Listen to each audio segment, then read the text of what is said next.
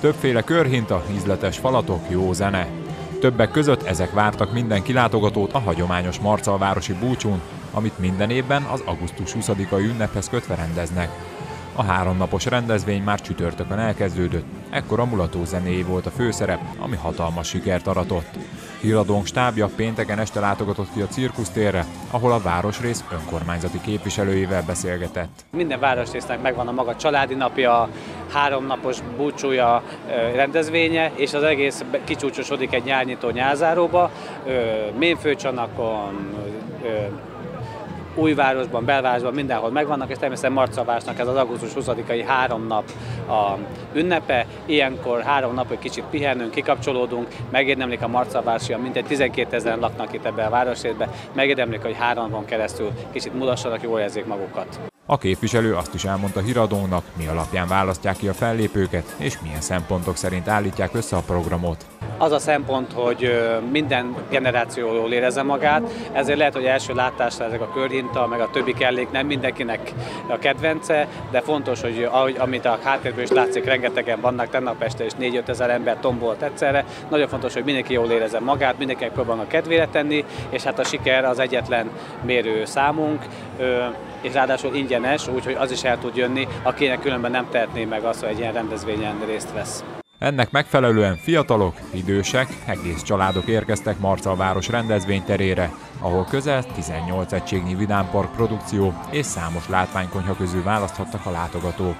A legnagyobb durranás mégis az a 80 négyzetméteres színpad volt, amit három napon keresztül igazi sztárfellépők töltöttek meg élettel, amely előtt több ezeren tomboltak sötétedés után. A péntek este sem telt el nagy név nélkül, hiszen Szikora Robi és az Ergo adott 100 perces élő koncertet. A fellépést megelőzően stábunk az öltözőjében beszélgetett a neves előadó művészel arról, mit jelent számára a Győri kaland. Szerintem Győr ez, ez egy nagyon jó város, mert Csallók köz is közel van, onnan származik az én nagyapám, Szikora família, és intelligens közönség, most nem a, azért mondom, hogy nyaljak, hát itt sok koncert van, hozzászoktak ahhoz, hogy vannak bandák, nem tátják a szájukat, hogy mi ez, még életünkben nem látunk nagy zenekar, igen? hanem, hanem, hanem, hanem hozzászoktak az, hogy ott kell viselkedni egy koncerten, az is egy kultúra. A zenekar nem készült külön műsorral a győri fellépésre, de a bandának így is nagyon fontos az, hogy olyat adjon a közönségnek, ami örömet okozhat minden korosztálynak. Ha el tudod felejtetni azt a közönséggel, hogy van egy csomó sárga csekk, amit majd be kell hétfőn fizetni, akkor te már mindent elértél és ezt a saját számaiddal, amit te írtad a kis kútfejedből, nem más tollaival, és, és jól tudtad a fiatal zenészeket, fiatal gidákat is jól tudtad beépíteni ebbe a dologba. És nem esnek le rólam, hogy itt egy egy idősebb zenész itt van, és hát kik azok a fiatalokat mellett azok, tudod, hogy, hogy úgy olyan szervesen össze, összeadódik ez a kép, és akkor lesz ereje a bandának. Borsi Robert önkormányzati képviselő rövid beszédet mondott a nagy koncert előtt, amiben kitért arra, miért is másabb a Marcalvárosi rendezvény, mint bármely más ehhez hasonló az országban.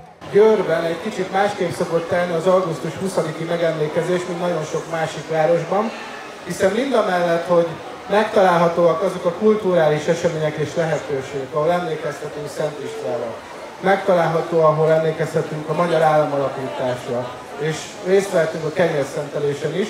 Mégis mindig évről évre a győri búcsú az, ami most már több mint két évtizede ide vonza ezrek, ez, ezre, ide vonz ezreket és ezreket, és lehetőséget teremt egy jó szórakozásra, egy kikapcsolódásra ismerőseink, barátaink és családunk körében. A képviselő beszédét követően kezdetét vette az igazi őrület.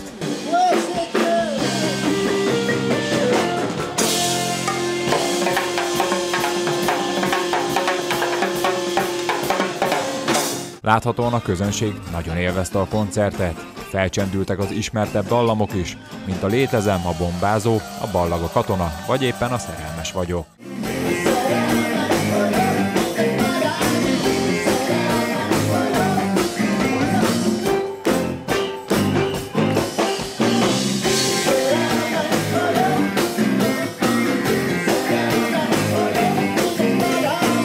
A közönség együtt énekelt és táncolt, közösen tombolt a csikidámra. Bulizott fiatal és idősebb, átvették a ritmust és a hangulatot. Régen látott már ekkora bulit Marcalváros.